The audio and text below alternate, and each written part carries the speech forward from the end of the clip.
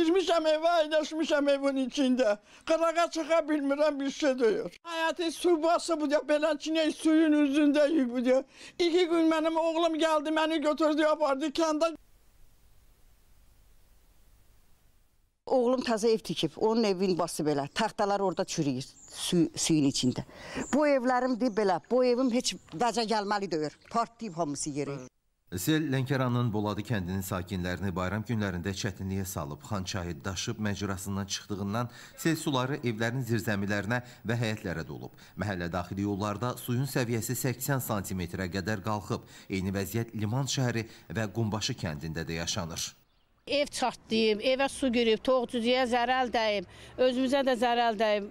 Özümüz qayıqla keçirik. 4 gündür biz bu vəziyyətdəyik. Biz aidiyyəti qurumlardan kömək istəyirik.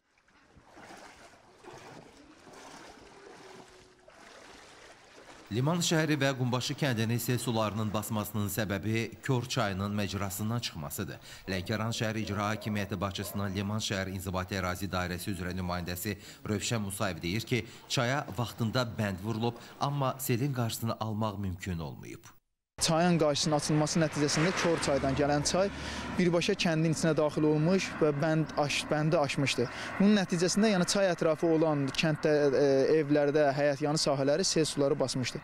İndi təbii ki, onun qarşısı alınmış, müəyyən formada bu jalüzlər açılmışdı dənizdə, e, jalüzlər açılmış və bu suya axar verilmişdi və bizim tərəfimizdən də mütəmadi olaraq tədbirlər görülmüşdü. Baş verən hadisə ilə əlaqədar rayonda xüsusi komissiya yaradılıb. Selin vurduğu ziyanın müəyyənləşdirilməsinə və aradan qaldırılmasına başlanılıb. Pərvanə Əhməd qızı Rövşən Məmmədov, Ruslan Həsənov, ASTV xəbər.